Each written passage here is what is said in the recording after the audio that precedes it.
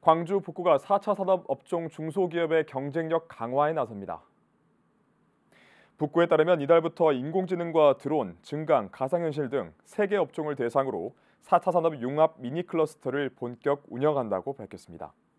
4차 산업 융합 미니 클러스터는 참여 기업 간 브레인스토밍을 통해 공동 프로젝트를 발굴 기획해 맞춤형 사업화를 지원하는 방식으로 추진됩니다. 한편 북구는 광주과학기술원과 전남대, 조선대 등 선임 연구원으로 구성된 자문단에 참여해 사업의 지속성과 확장 가능성을 확보할 예정입니다.